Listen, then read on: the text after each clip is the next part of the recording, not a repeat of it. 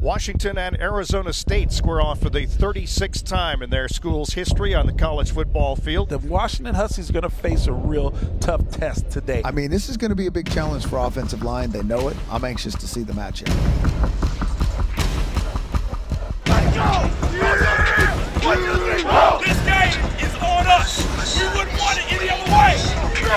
Lights are turned on at Husky Stadium. The dogs are getting ready to come out of the locker room and charge onto the field through the tunnel with a marching band from Husky Stadium. It's Washington and Arizona State tonight.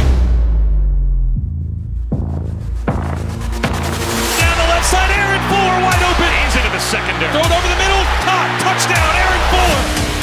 As a man back in the end zone, Ty Jones.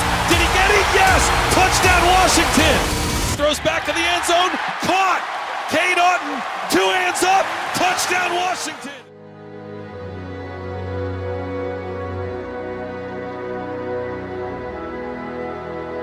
You know, credit to, to Nick Harris and everybody up front.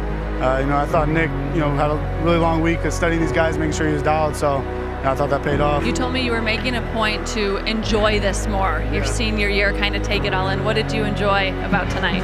Winning.